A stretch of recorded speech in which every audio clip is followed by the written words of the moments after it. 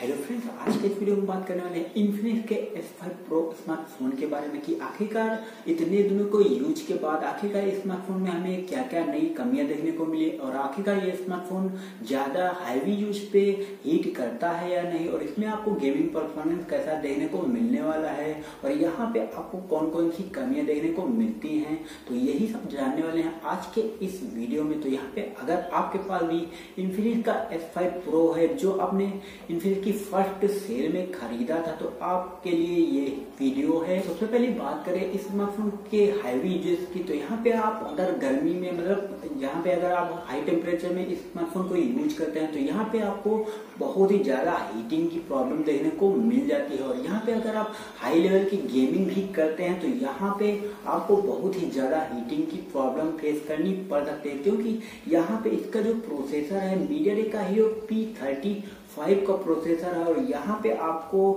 ज़्यादा problem face करनी पड़ रही है तो यहाँ पे ये सारे रीजन है कि यहाँ पे आपको इसमें इतनी सारी प्रॉब्लम फेस करनी पड़ सकती है। पहले बात करें इसकी हीटिंग की तो यहाँ पे अगर आप इसे हाई टेम्परेचर में, जैसे कि 35 या 40 के बीच में यूज़ कर रहे हैं और वहाँ का टेम्परेचर इतना है तो यहाँ पे आपका फ़ोन जो है काफ़ी ज़्यादा हीट हो सकता है, या फिर आपने काफ़ी ज़्यादा हाईवी यूजेस किया है, या फिर मल्टी की है तो उसमें भी आपका फ़ोन जो है काफ़ी ज़्यादा हीट करता है। क्योंकि इसका जो प्रोसेसर है, वो मीडियाटेक का हिलियो पी थर्टी फाइव का प्रोसेसर है, जो कि काफ़ी अच्छा नहीं है तो यहाँ पे इसमें आपको ये कमी देखने को मिल जाती है। और अगर बात करें इस स्मार्टफ़ोन की बैटरी परफॉर्मेंस की तो यहाँ पे बैटरी आपकी चाहे जितना मतलब हैवी यूज़ करेंगे आपका, ये जो फ़ोन है, वो कम से कम एक दिन का बैटरी बैकअप ऑलमोस्ट दे ही देता है। तो ये बैटरी बैकअप के मामले में काफ़ी अच्छा फ़ोन है। और बात करें इस स्मार्टफ़ोन के गेमिंग परफॉर्मेंस की तो यहाँ पे आप इसमें हैवी लेवल की गेमिंग नहीं कर सकते हैं, क्योंकि इसमें मीडियाटेक का हिलो पी थर्टी फाइव का प्रोसेसर है तो यहाँ पे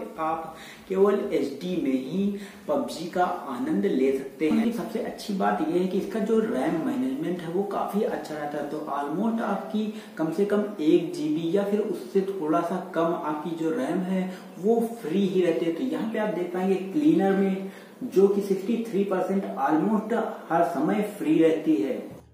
करें इसके कैमरे परफॉर्मेंस की तो यहाँ पे कैमरे में आपको काफ़ी ज़्यादा दिक्कत होने वाली है, क्योंकि ये जो वीडियो आप देख रहे हैं, ये इन्फिनिक्स एस फाइव प्रो के कैमरे से बना हुआ है, और इसमें आपको सबसे ज़्यादा शार्पनेस दिखाई दे रहा होगा। तो यहाँ पे शार्पनेस ज़्यादा होने के कारण यहाँ पे आपका जो पिक्चर है, वो बिल्कुल भी क्लियर नहीं आता है, और यहाँ पे आप बिल्कुल देख पा रहे होंगे कि इस वीडियो में और इसके जो पहले वीडियो बन रहे थे मतलब इसके जो पहले का अभी हमने देखा है तो उसमें आपने देखा होगा और ये जो चल रहा है, इसमें आपने देखा होगा काफ़ी ज़्यादा डिफरेंस देखने को मिल रहा होगा। हालाँकि इसमें थोड़ा सा क्लियरिटी ज़्यादा देखने को मिलती है, लेकिन यहाँ पे अगर ये शार्पनेस थोड़ा सा कम होता तो काफ़ी अच्छा ये कैमरा फ़ोन हो जाता। ये जो वीडियो रिकॉर्डिंग आप देख रहे हैं इन्फिनिक्स एस फाइव प्रो के सेल्फी कैमरे से ली गई है। तो यहाँ पे आप हमें कमेंट करके ज़रूर बताइएगा कि रेडमी नोट फाइव प्रो से